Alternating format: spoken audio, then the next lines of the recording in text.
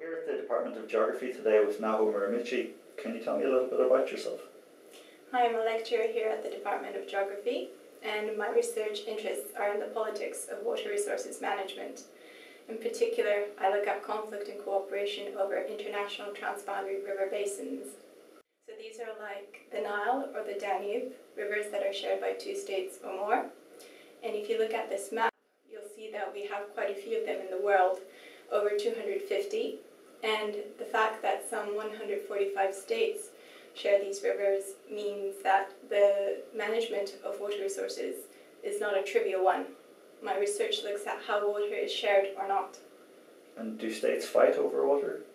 Well, a lot of analysts have warned of water war between states where acute military action is taken.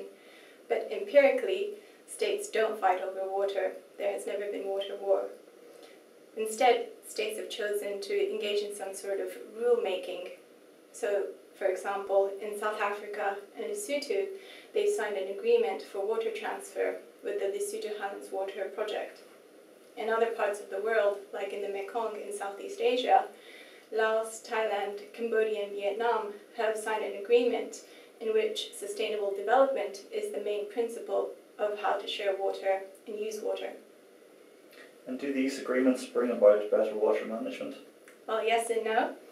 Um, the tricky thing is that in the current global political system, states have to negotiate, sign, and implement these agreements voluntarily. There is no such thing as the world police or the world government that can make states do what they should do.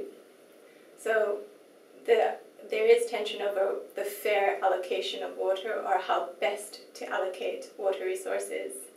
And the fact that power relations start playing an important role in the negotiation implementation of these agreements shouldn't be overlooked.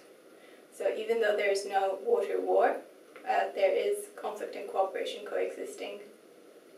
So our time is almost up. Uh, have you any last comments? Well, today I've talked about one part of water resources management um, and also from a social science perspective as well. Obviously, there are physical science perspectives um, that exist.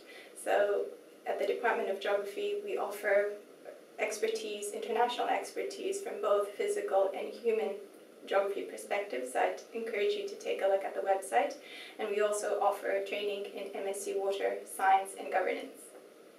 Thank you very much. Thanks.